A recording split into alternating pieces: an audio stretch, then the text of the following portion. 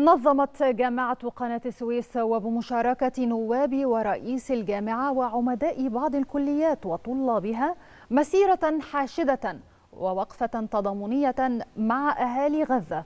تعبيرا عن وقوفهم خلف الرئيس السيسي الذي أعلن موقف مصر من القضية الفلسطينية والأحداث الجارية في غزة. انطلقت مسيرة جامعة قناة السويس تأييدا لغزة وإعلانا بأن شعب مصر كله خلف رئيسه فيما أعلنه ويمثل واقع مصر الرائد في الأمة العربية ومسؤولياتها التي تحملتها عبر تاريخها تجاه العروبة وتجاه قضية فلسطين.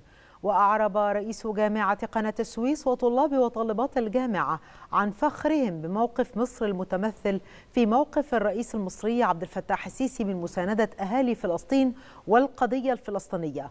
واستعداد شباب مصر وشعبها أن يقدموا المساعدة لأهلنا في غزة. جايين نتضامن مع القضية الفلسطينية وندعم الشعب الفلسطيني ونحن واقفين مع الرئيس في أي قرار هو هياخده. اليوم هنا في جامعة قناة السويس في وقفة تضامنية لأشقاء الفلسطينيين. هنا نشكر السيد الرئيس عبد الفتاح السيسي على دعمه للقضية الفلسطينية ونقول له نحن معك لآخر الطريق وإن شاء الله حتى مساعدة الفلسطينيين وإدخال المساعدات بإذن الله وتحرير فلسطين بكامل